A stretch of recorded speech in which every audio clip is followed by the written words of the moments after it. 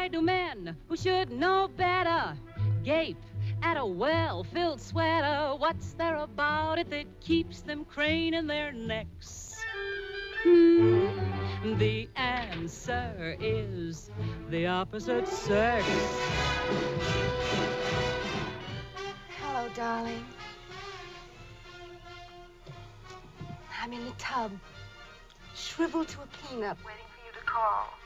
In the tub? It's too bad there isn't a television attachment on this phone.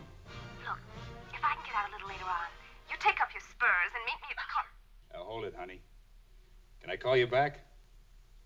I've got some people here I want to talk to. Okay? Howdy, folks. I'm here to give you the bare facts about the opposite sex. I'm Buck Winston when I play in this picture. In person, I'm Jeff Richards, the lucky guy MGM cast opposite all the feminine beauty in the opposite sex. Oh, what women. For instance, there's June Allyson as Kay. Kay had been a famous singer. On the man with the two front names, Harry, James, the young man with a horse, Ann Sheridan as Amanda has her own ideas about the opposite sex. Females, the lost sex.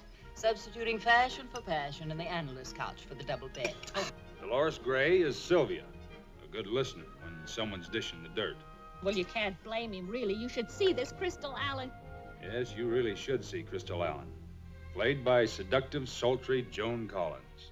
Don't give me that innocent bit. I do kicks, you plug tunes.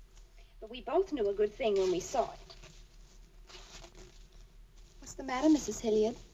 Did I hit a nerve?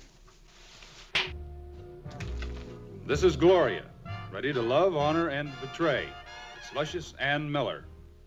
And here are those riotous four-time losers in the Reno Handicap. Agnes Moorehead and Charlotte Greenwood. The opposite sex is spiced with eye-filling production treats, set to the beat of hit tunes and toe-tapping rhythms. And,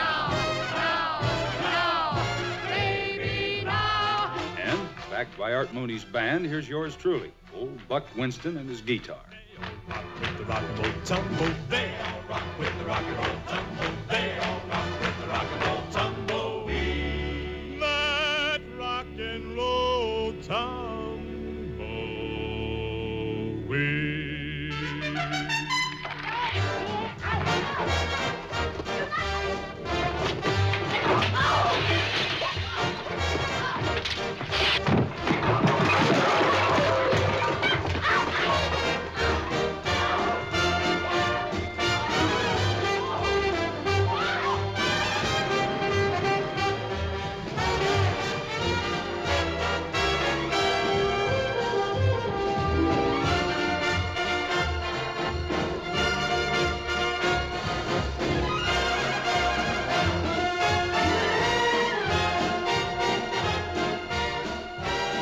opposite sex.